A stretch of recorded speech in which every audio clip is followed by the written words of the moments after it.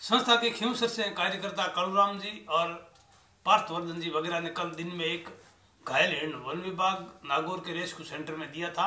शाम के समय उस हिरण के स्वास्थ्य को देखने के लिए वापस रेस्क्यू सेंटर पर गए तो वह वन विभाग के कर्मचारी मांस और शराब की पार्टी कर रहे थे।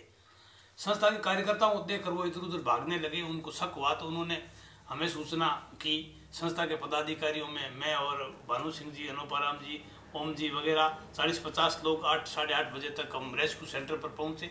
वन विभाग के उच्चाधिकारियों को मौके पर बुलाया, पुलिस को मौके पर बुलाया। राजस्थान के वन मंत्री जी को, नागौर के सांसद महोदय और खियूसर के विधायक महोदय को भी हमने सूचना दी।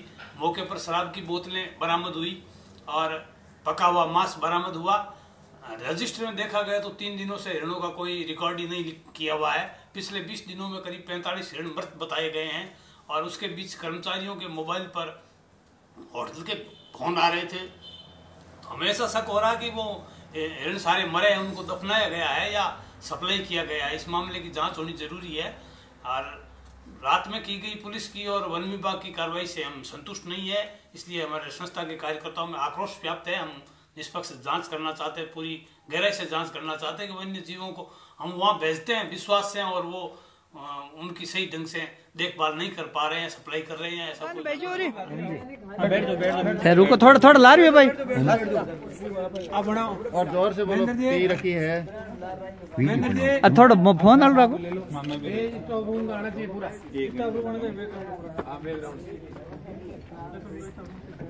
ठीक है सुनो।